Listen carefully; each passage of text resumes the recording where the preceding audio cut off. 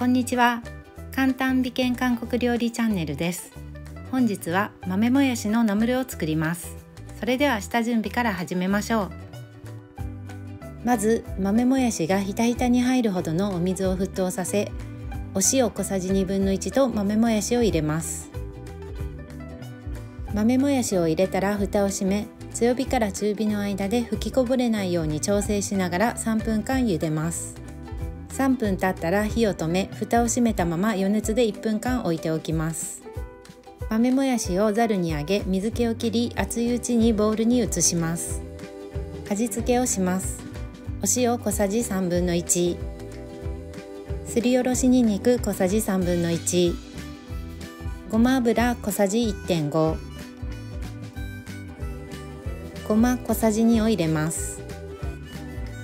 豆もやしをほぐすように混ぜていきます。味見をしお塩で味を調整したら豆もやしのナムルの出来上がりです。副菜にはもちろんお酒のお供にもぴったりです。他のナムルや牛ミンチコチュジャン炒めと一緒にビビンバにしても美味しいです。とっても簡単ヘルシーな豆もやしのナムル。一度作ってみてはいかがでしょうか。ご覧いただきありがとうございました。